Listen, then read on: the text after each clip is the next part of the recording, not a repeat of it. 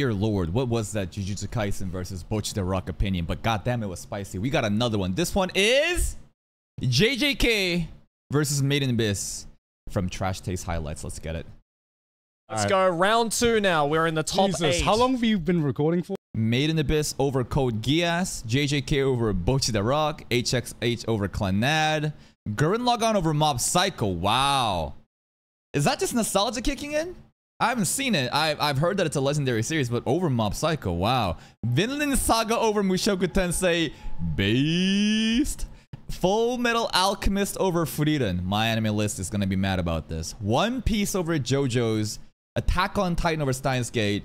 Yeah, I, I think most of these make sense. 134. Well, I- Alright. I think it'll be a lot easier to Yeah, go It'll be be a lot it'll be a lot easier. because we won't have to. By, Okay. the, by the way, we, we plan to do multiple uh, anime brackets. Um, looks like we're gonna have time to only do one. Nah, thanks, we thanks got to way our too heated. thanks to our fucking Japanese. Okay, um, Where should we start? Let's get more At heated. again? let's Come go on. to bottom again. All right, Jujutsu Kaisen versus Made in Abyss. Uh, it's Made in Abyss. what? what? It's made in It's abyss. Made in Abyss. What? It's made in abyss. It's Made in Abyss. no. Jujutsu Kaisen versus Made in Abyss. Made in Abyss is beautiful, man. It's also wicked. It's a great story. That's a hard one, man. Oh. It's made in It's abyss. Made in Abyss. Come on, man.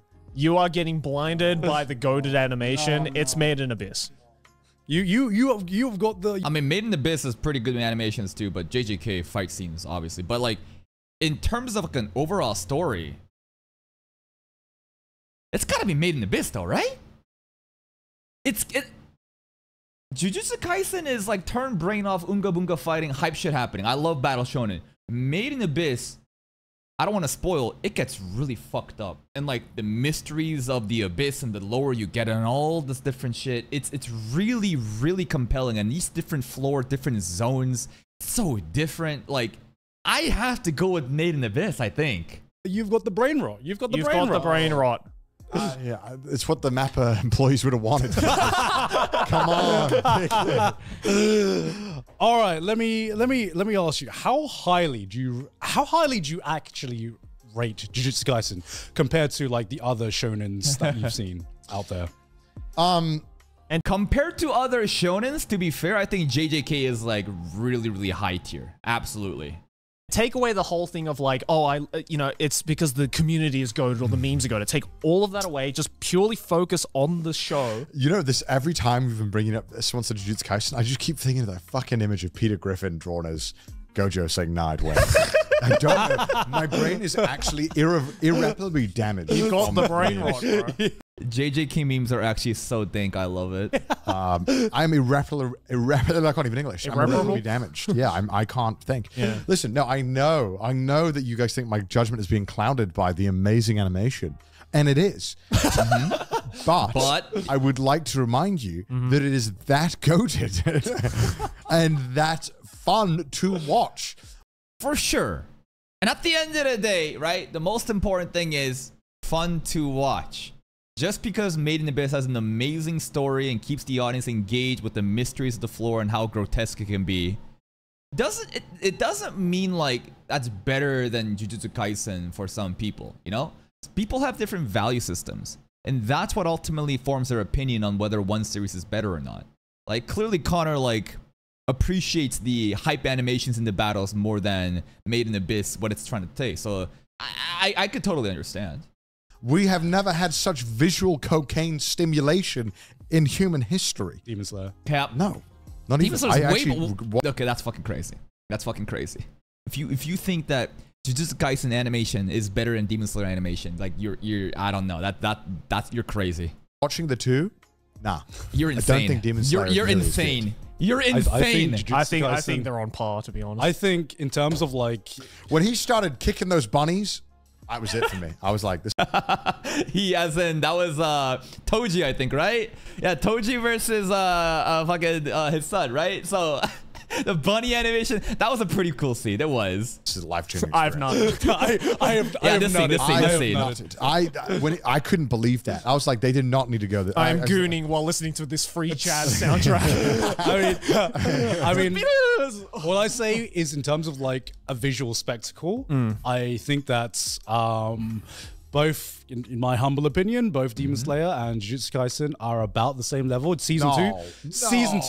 At worst, it's about the same. At best, Demon Slayer is better than JJK. Like genuinely, if you think JJK animation is extremely better than uh, Ufotable's Demon Slayer, I don't know. I I, I just don't think so. I, like it's got to be minimum tied, right? But I'm gonna give the edge to Ufotable. Two of Jujutsu Kaisen may have had more episodes in a row. I will, I will like concede to that. But the big difference is that Demon Slayer has like one style, one, one kind of like, one kind of like visual style, and it is very aesthetic. It's like a cool painting style. Um, Jujutsu I enjoy it. Kaisen is just cool. It's just way cooler. It's like the cool. It's like Daniel and the cooler Daniel. You know, Yeah. you know. Jujutsu Jujutsu Kaisen has the fucking energy. It has the swag, as you call it, and some of the fights have so much variety in them. Yeah. and different styles. Um, Maybe I'm too dumb to recognize specific patterns and animations, but you Ufotable really one trick ponies for Demon Slayer.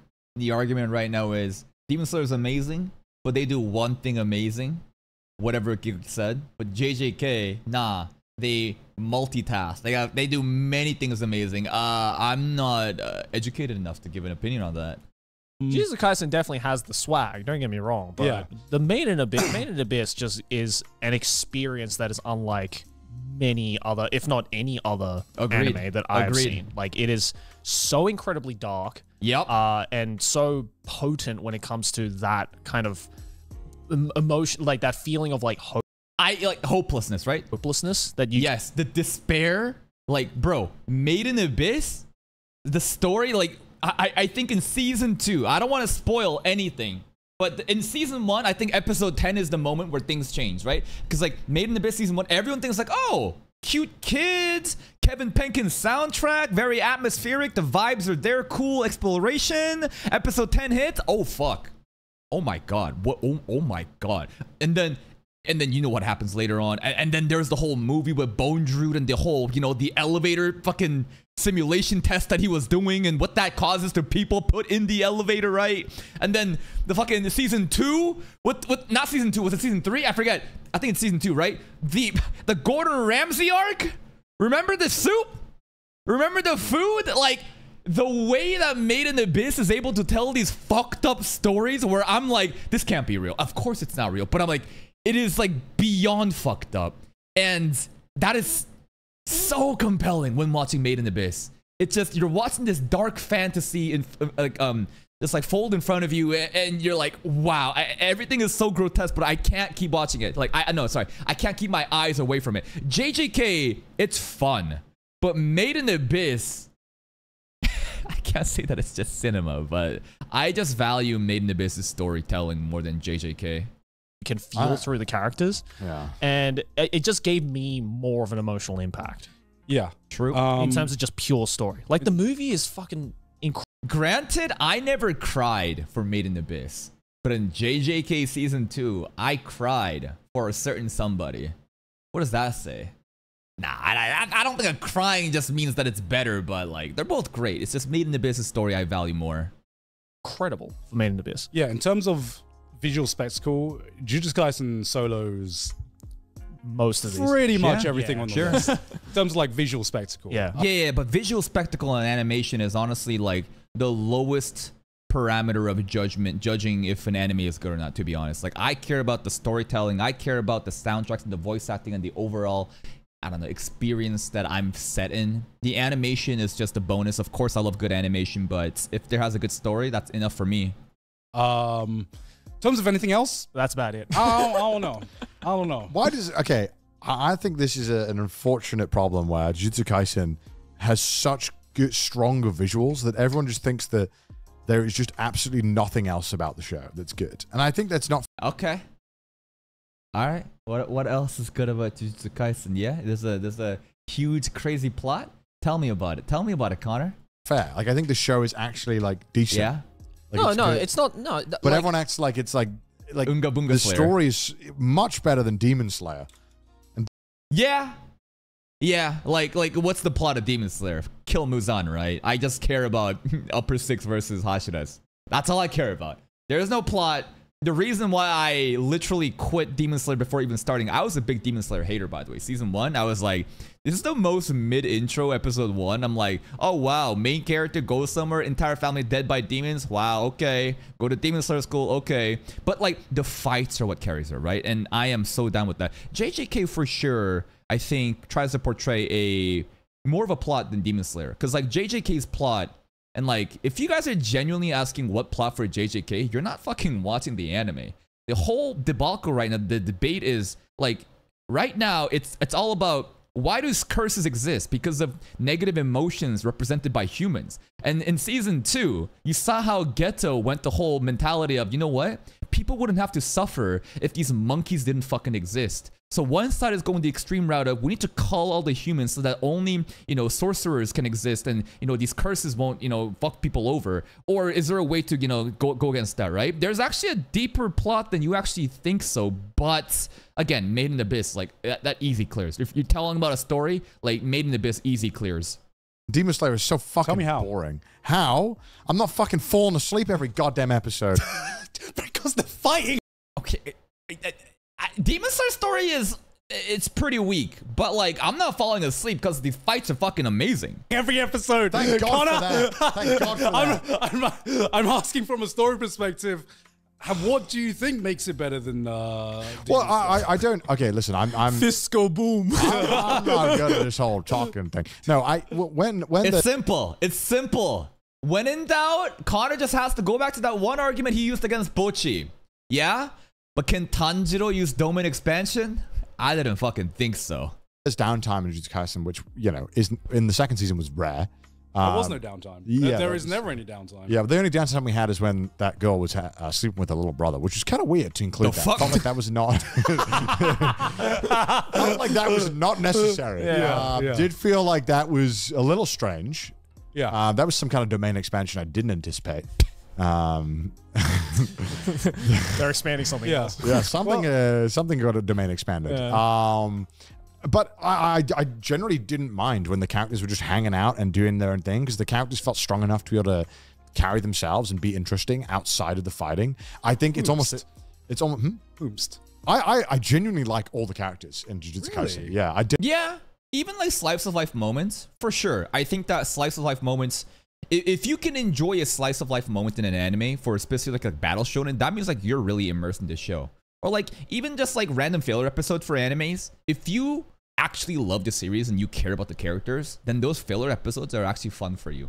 I can't really say the same about Demon Slayer as I care about Jujutsu Kaisen. Like I definitely care way more about the interactions between like for example Todo. Like Todo and like Mei Mei playing ping pong was fucking sick. The random ass shopping episode with Yuji and the crew, right? The storm before the the calm before the storm, like stuff like that for sure. Demon Slayer, eh, I don't really care too much about the characters. I'm just like, come on, when are we gonna start fighting? Didn't mind when they were hanging out in school and talking and bantering, especially, you know, in the first season, I felt like it was, I genuinely liked the banter. It felt a bit like, I don't know, it felt way more realistic than, I guess, Demon Slayer to some extent. Yeah, I mean, Demon Slayer. The big problem with realistic? Probably because Demon Slayer is set in like a different fucking era. Well, I don't know.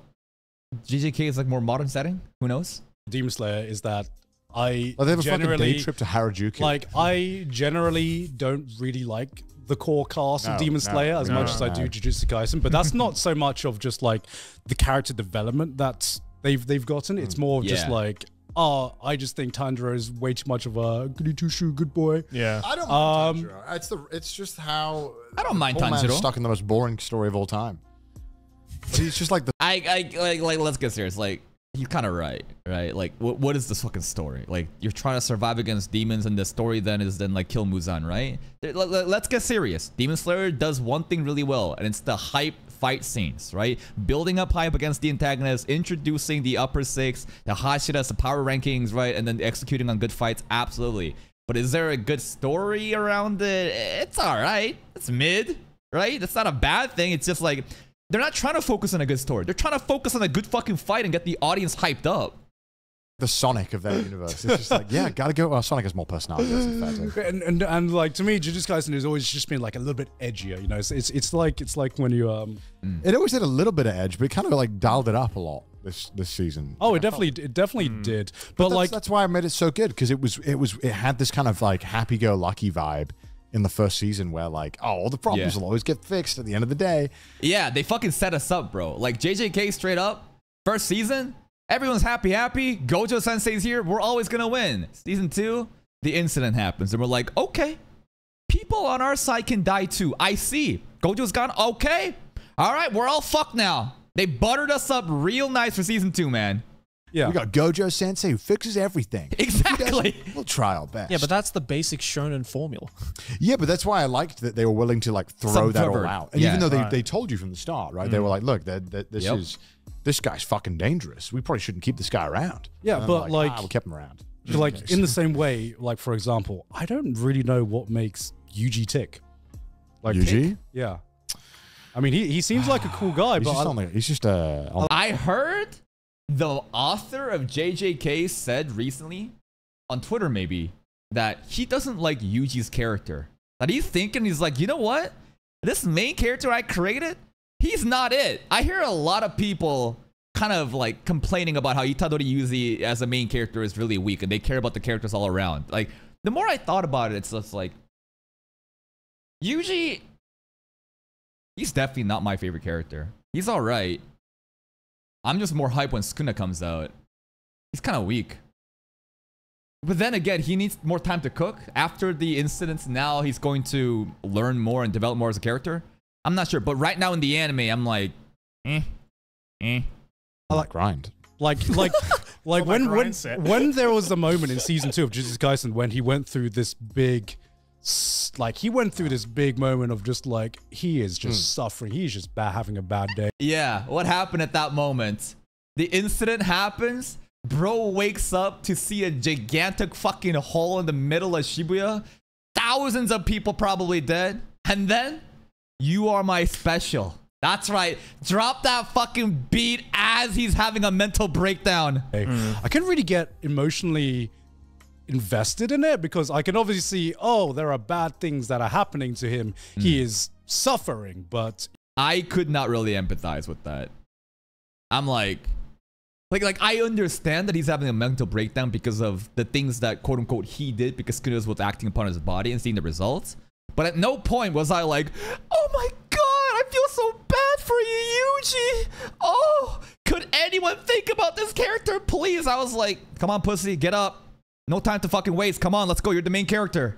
it was like well I don't really I, I don't I don't really know what kind of guy this person is to begin with uh all I know is cool kid But I, You know- I, I liked how we could see him changing through the fights. Like he was getting visibly more jagged and kind Yeah. of a little, a little more. Uh, those edges are being added to the the smooth ball that was once there. Yeah. I really Yeah, I think that Edge maybe when he basically defeated Mahito, and then there's like a cold, cold scene of like I am you or something, right? That was one of the really good Yuji moments. like that aspect of his character. Like- And you, you don't need that to be conveyed through 15 fucking flashbacks, which I'm tired of. No, you don't need you don't need it to be conveyed through 15 fucking flashbacks. But I feel Thank you for quoting. Yeah, yeah. I, I, I feel like I feel like I barely really knew the character or hmm. like any of the characters. In fact, my favorite arc um, in Jujutsu Kaisen from a storytelling perspective was the Gojo Nanami. flashback arc. Okay. the, the, act- the actual flashback. so fucking good. yeah, that,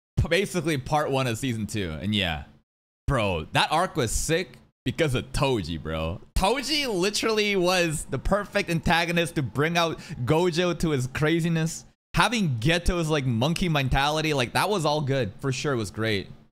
That was the only time That, that felt more like a prologue than a flashback. Yeah, but that was the only time I've really felt like, oh, okay, I'm, uh, these are interesting characters with interesting motivations that changed during the course of that arc. And that was like one of the shortest arcs in Jujutsu Kaisen. So and yet. I went out of that arc feeling like I I understood uh I understood those characters more than like the entirety of season 1 and like post like the Shibuya arc in season 2. Well, yeah, because like season one, they don't try to like flesh out the core three, right? Megumi, fucking Nobara, Yuji, it's very shallow in terms of like how much we got to know them. But the flashback of like Gojo and Geto and, and like the whole thing there, there was a whole like philosophy of like, you know, do these monkeys deserve to even live or not, right? It- it- of course, like season two, you know, a- a season two, like part one part is gonna flesh out those characters and let us know more about the perspective of those characters compared to season one, where it was very shallow. They, they were never trying to do it. That's why it was shallow, in my opinion.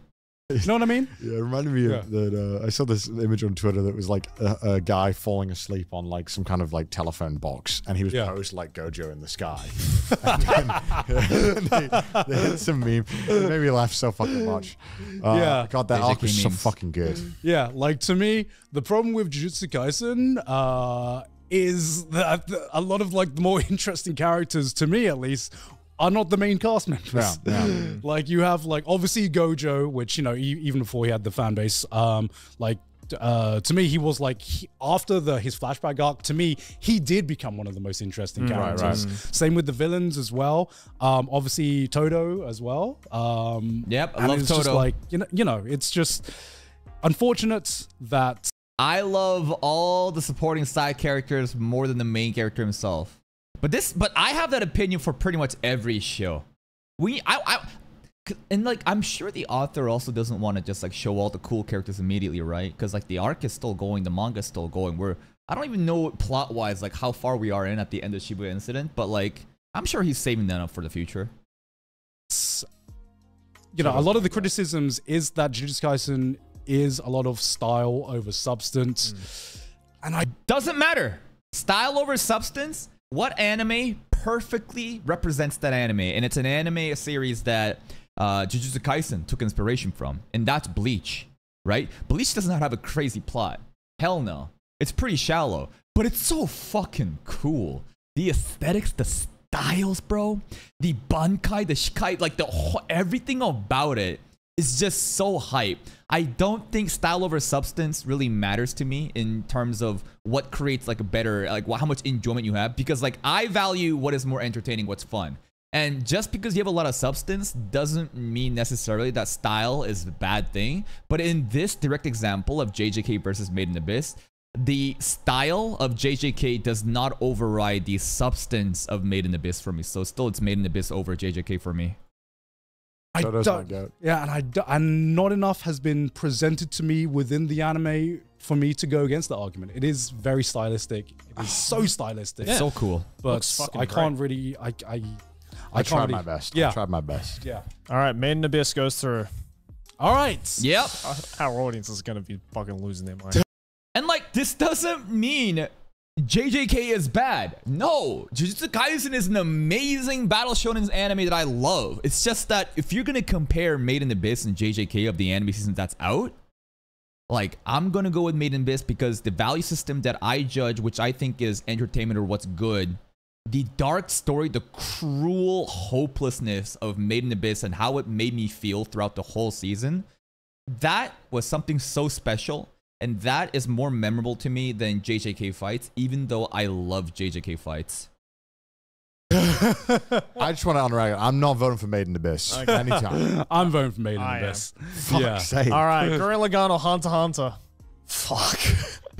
Uh, this is Motherfucker, this video is called JJK versus Made in Abyss. Why you talking about Gurren Lagann or Hunter x Hunter right now? I, I haven't seen neither of those animes, and therefore I don't want to get spoiled. So this is where we're gonna be ending the the reaction. Um, one of those day, one of these days we can watch it. But let me know if you guys think that JJK is better than Made in Abyss or Made in Abyss better than JJK. But I don't give a fuck. I think that Made in Abyss is a little bit better in JJK, but that does not mean JJK is bad. JJK is like a solid minimum 8 out of 10.